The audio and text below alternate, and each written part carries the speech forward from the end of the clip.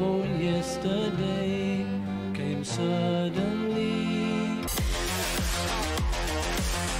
Dear Prudence, won't you. Come.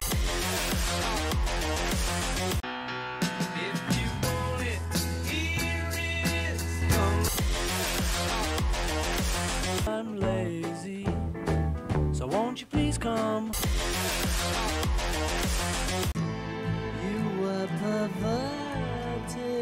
Too. I need a place to come.